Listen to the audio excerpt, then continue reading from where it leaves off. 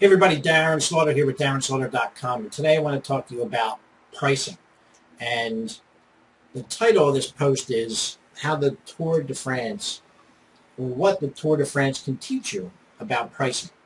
Now, obviously, I'm sure you can tell by these videos, um, I don't look like one, but back in the day I used to cycle a lot. So I used to do cycling a lot. So I enjoy watching the Tour de France um, in July. So, you know, I'll even go so far as to tape it on the DVR and watch it um, at night or what have you.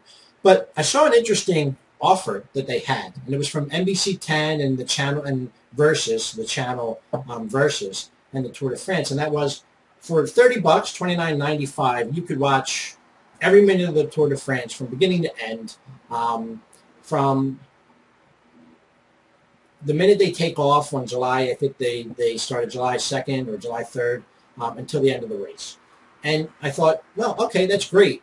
But it, we're now seven, or I think we're on stage nine, and they're still on TV pushing that $29.95 package, and you're pretty much a third of the way through the race. So I have to imagine that if people haven't bought that package yet, they're not going to buy it. But there's a couple things. Um, if you don't know anything about the Tour de France, there's races inside of the race. There's races for sprinters. There's when they get into the mountains and they spend all day climbing these huge, gigantic mountains in the Pyrenees and the Alps. Um, there, there are huge battles taking place and a lot of strategy and things like that. And, and it's really great to, to watch. Um, I understand maybe you're not into that, but, but just stick with me here for a second. If Versus and, and NBC and the tour took a little bit of a, a, a next step and realized, hey, you know what?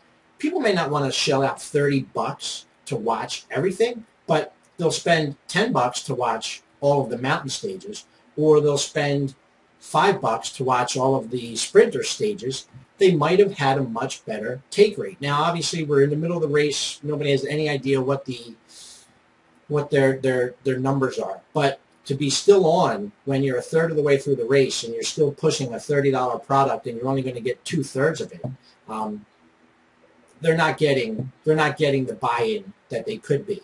Um, so the point of that to you is is while you may have one price for this particular part of your business, whether it be a service side or or, or um, product side, it doesn't hurt you to have other offerings. And you use those other offerings to either upsell or cross-sell other products or services inside your organization.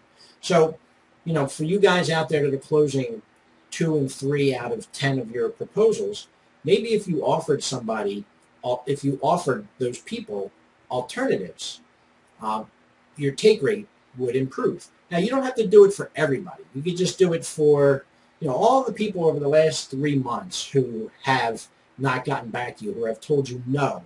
If you sent them, if you got in touch with them and, and said, listen, I understand it may be high, that may be this, that may be whatever, fill in the blank. If I sent you a couple other ideas with a couple other prices, would you be interested in taking a look? I guarantee you somebody will say yes. And I guarantee you that somebody may even say, yes, let's do it. So if you're not closing the right way, take a little, take a lesson from the Tour de France Versus and NBC, and don't price it for everybody. Price it for the people that are ready to buy and want to buy exactly what you're selling. That's it. Have a good day.